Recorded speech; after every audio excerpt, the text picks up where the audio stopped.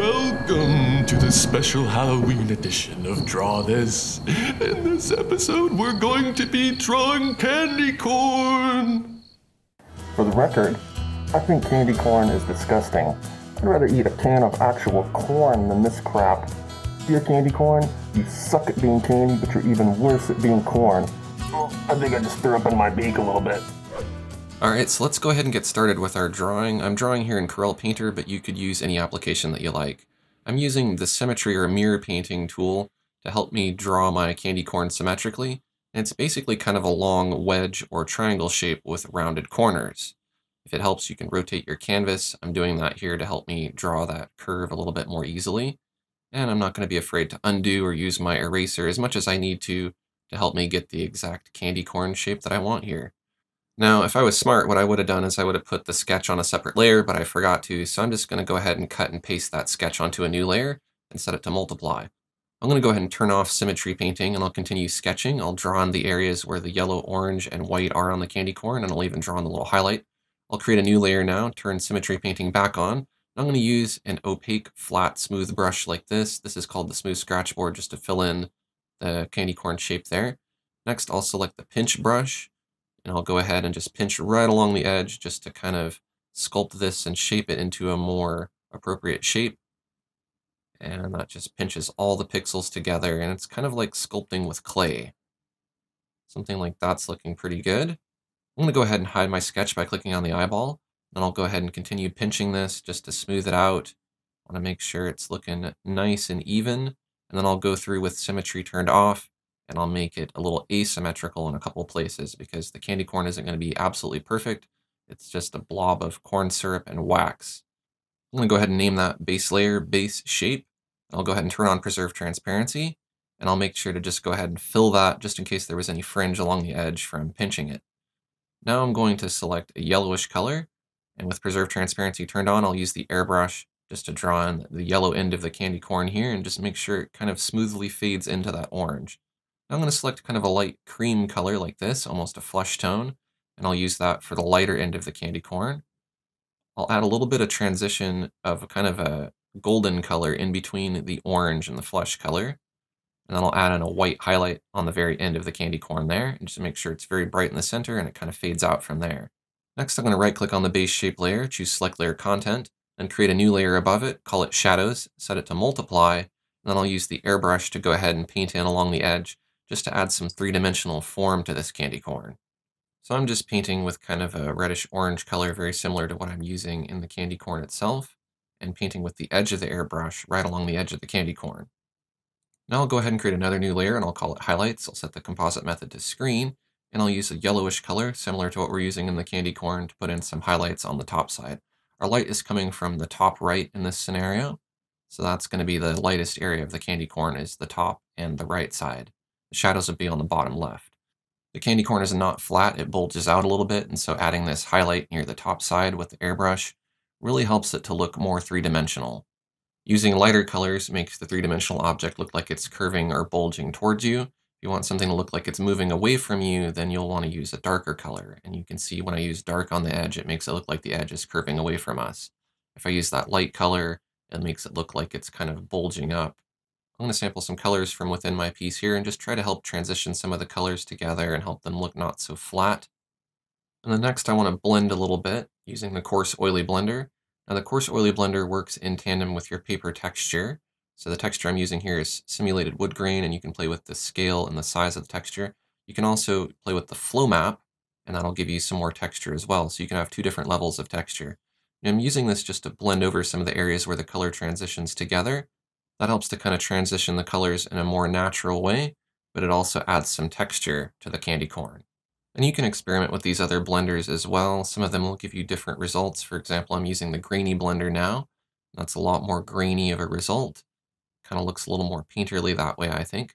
And I'll switch to the diffuse blur and I'll lightly blur over everything with that just to soften it and knock it back and remove some of that harshness. Now, if you overblend, you can always select Distorto and you can kind of push and smudge your paint around and that'll help sharpen it up. You can sculpt it into any kind of shape you want. In applications like Photoshop, this is known as Liquify, and it really just helps to add more sharpness to your piece. and it helps it look a little more like reflective waxy candy. The next step is to add some textures and fine details. You could use a chalk brush or an oily pastel. I'm going to use my custom brush called Oily Pastel, and I just want to put in a few little imperfections on here. Maybe these are little raised areas or little cracks and crevices and things like that. Areas that catch the light, areas that catch shadows, and all of this little detail just really helps to make a difference. Normally you wouldn't look at a candy corn this close. This is a very magnified view, but even though we're adding all this information, it'll still kind of break down when we look at it smaller and it'll make sense. Now you might be thinking at this point, it looks like candy corn. Why keep adding more detail to it? What's the point in that? Well, if you want something to look very photorealistic, then you need to put in all these extra details. Otherwise, it's going to look unfinished. And all these details are there. I'm using a reference photo of a candy corn, and in that reference photo, all this stuff is present, and so I'm just trying to have a very, very keen eye for that. For example, if you look very, very close at the texture of a candy corn, it's all these little small, fine, speckled textures. So I'm going to use the select layer content trick, and then I'm going to create a new layer, set it to overlay, and use the pepper spray brush to spray in some little speckles. You can change the feature size of the pepper spray to get bigger or finer speckles. I'll do that maybe on a couple of layers, one with some dark and one with some light, and maybe one with some bigger speckles, and just spray in a little bit here and there and everywhere That'll help it look like it's actual candy texture. I might reduce the opacity of those layers a bit too, just to help find a more subtle blend for each of them. And then I'll merge those layers down with the candy corn using Control E. Then I'll blend over it a little bit to soften it, following the contours or the form of the candy corn using the diffuse blur blender, just to soften some of that a bit so it's not too apparent. Next, it might be nice to add some three-dimensional ripples and wrinkles, and a great way to do that is to create a new thick paint layer Choose a neutral gray and set the layer to overlay, and then simply paint. If you use lighter pressure, you can scrape away paint. If you use firmer pressure, you can build up paint. Brush that I'm using here is a custom brush called Broken Paint, and you can create additional thick paint layers to build up the texture. If you change your paper texture as well, you're going to get different textures within your texture of your thick paint. So I'm just going to build it up in a couple places. You can see that creates highlights and shadows. You can also go to Canvas Surface Lighting you can change the angle of your light if you need to so it matches your composition. I'll reduce the opacity of those layers to find a more subtle blend, and then I'll go ahead and just merge them down with the candy corn layer and blend it a little bit using diffuse blur. I'm going to go back in with my digital airbrush and just add in a few more little details here and there. I'm going to add some more contrast using a Stencil Flow Map Messy Dab brush, which is a glazing brush, and that's basically just darkening it on the top and the bottom so that creates more of a shiny reflection. I'll also use it to fade that white color into the orange. And then I'll select the bulge brush and I'll just bulge a little bit more just to help push this around and help it look, again, a little bit more waxy or a little bit more reflective in some areas. Now let's add a drop shadow so this doesn't look like a bad Photoshop product shot. I'm going to duplicate the corn layer and on the bottommost layer I'll just move it moving away from my highlight so that our shadow looks like it's being cast by the light source. And I'll just turn on preserve transparency and fill that with kind of a blue-gray color. Then I'll go to Effects, Focus, Soften, and set the aperture to circular and create a blur to blur the edge of that shadow. Reduce the opacity a bit, and maybe just move it around and transform it and just make sure that it fits perfectly there. That looks pretty good. I might even blend it a little bit with diffuse blur, and then I'll tint it a little bit after turning on transparency just to tint the top edge a little bit of that orange color, and maybe make it a little bit brighter and a little bit darker in some areas. Now I'm going to start cleaning up the piece a little bit, and that's just looking at the reference photo and looking for any mistakes or anything that I can improve upon. You don't have to copy your reference photo exactly. In fact, I made my piece look a lot better than the reference photo ended up looking. So feel free to use artistic license here and do whatever you want with your candy corn. But I'm just kind of doing a mix between matching it to the reference image and making it meet my vision. I'm just using a lot of those same brushes that I've been using earlier.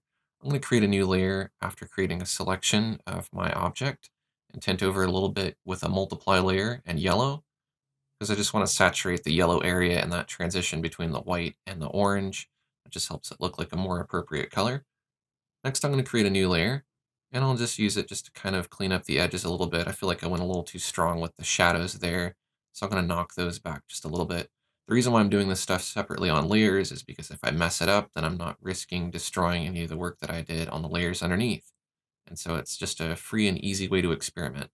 Now let's add some more lumpy texture. I'm going to create a new thick paint layer and I'm going to change my paper texture to bumpy skin.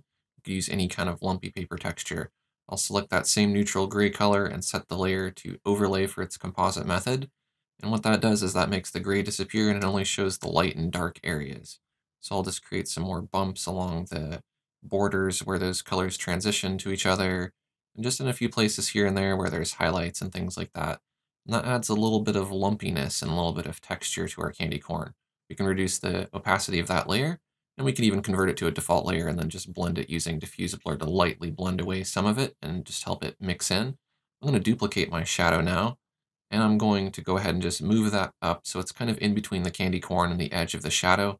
That creates kind of two layers of shadows and just helps the shadow look more natural. I'll merge those shadow layers together with Control E and just set the composite method back to multiply, and then I'll fuse those two layers together where they meet using diffuse blur. Next, I'm going to go to the canvas layer and I'm going to tone the canvas a light gray color. This will help the lighter parts of the candy corn stand out and it'll just help it look more natural, but I don't want to go too dark, so it's going to be just an almost white like this. I'm going to go ahead and merge my candy corn layers down into a single layer turn on preserve transparency, and then I'll use some of that background color just to create some reflections by painting along the top and bottom edge. Those edges are curving away from us, curving towards that table or whatever the candy corn is sitting on. And so it's reflecting a little bit of color from the table or from the objects surrounding it or even from the light. Let's use select layer content to get a selection of the corn and create a new layer on top. We'll set it to multiply and I want to go through with kind of a medium orange color and just bring out some more of those curved shadow edges along the bottom left and the bottom of the candy corn and just help it look more three-dimensional.